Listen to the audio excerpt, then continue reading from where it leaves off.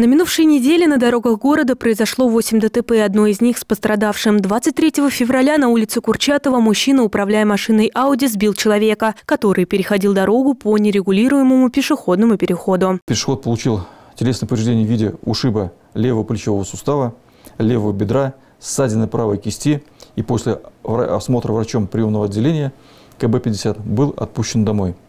Водитель автомашины Audi А4 находился в состоянии алкогольного опьянения. В отношении него был собран административный материал по части 1 статьи 12.8 Административного кодекса. Материал направлен в суд для принятия решения по существу. Сотрудники автоинспекции напоминают горожанам, что в силу вступил закон об уголовной ответственности за превышение скорости на 60 км в час и более, а также выезд на полосу встречного движения. Максимальное наказание, предусмотренное новой статьей КРФ, три года лишения свободы без возможности заниматься определенной деятельностью на срок до 6 лет. Если сотрудник полиции остановил, то здесь могут э, судья назначить и лишение права управления, и административный штраф. В данном случае нас э, интересует лишение права управления.